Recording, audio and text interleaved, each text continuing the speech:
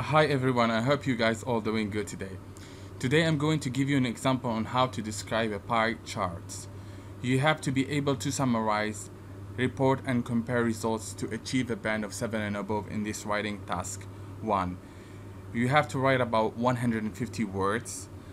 You have to have a good range of vocabulary and grammar.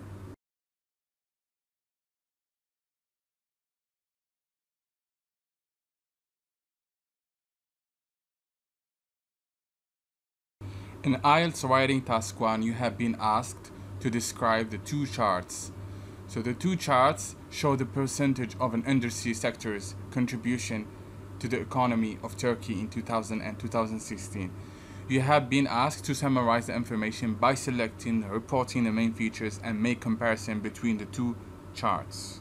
To achieve a band of 7 and above in the writing task 1, your essay must consist of four parts, which are introduction, an overview, feature 1, feature 2. In introduction, you must introduce your chart to the reader in one or two sentences. In an overview, list general trends of your chart. Don't write specific numbers or details. In a feature 1, you should describe your specific results. In a feature 2, describe specific results as well.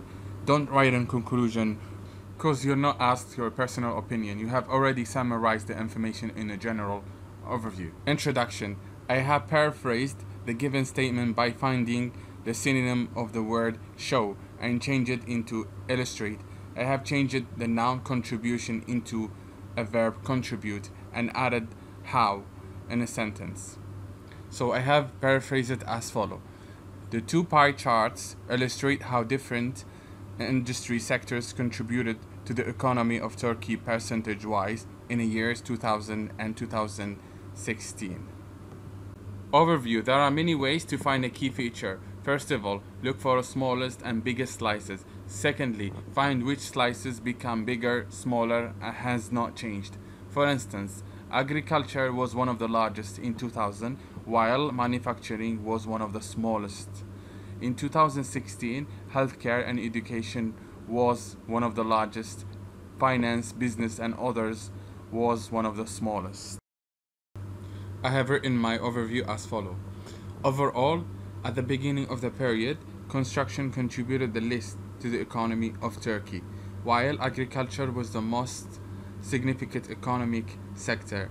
In comparison, at the end of the period, healthcare and education became the largest economy segment, and the lowest contribution was made by finance, business, and other services. If you want to get an overall band of 7, you have to write the word overall because it shows the reader that you're going to talk generally about the overview part. Instead of me writing 2000 again and again, I have written at the beginning of a period. Similarly, I did write the end of a period instead of 2000. It's better to avoid repetition. I have used the passive form, for instance, the lowest contribution was made by finance, business, and other services.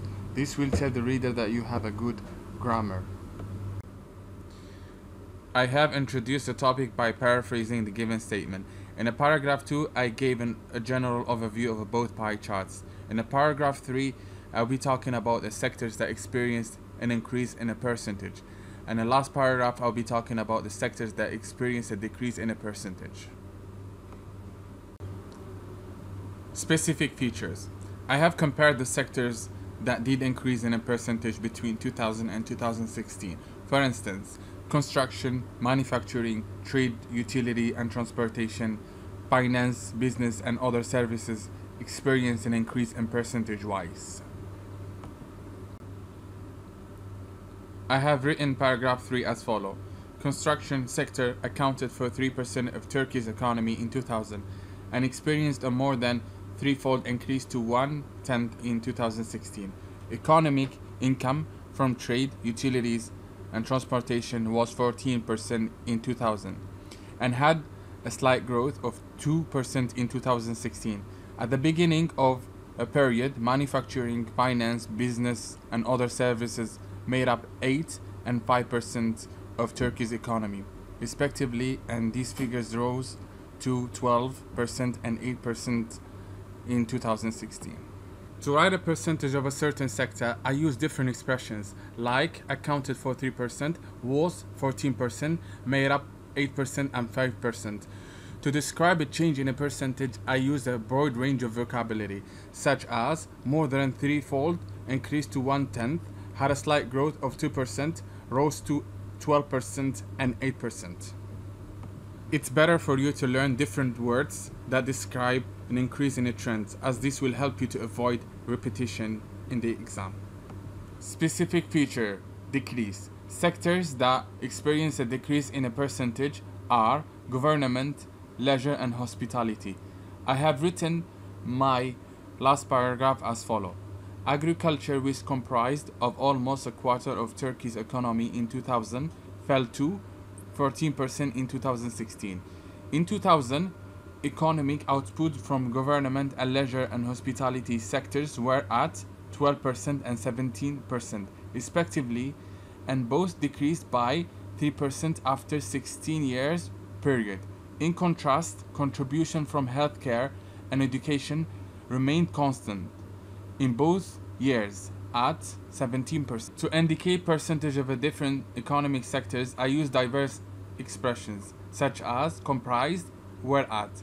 To describe a change in a percentage, I use these following expressions such as fell to, both decreased by. Had no change in percentage, I used the following expressions remained constant. Thank you for watching this video. I want you to subscribe, like and share this video and see you next time with another video.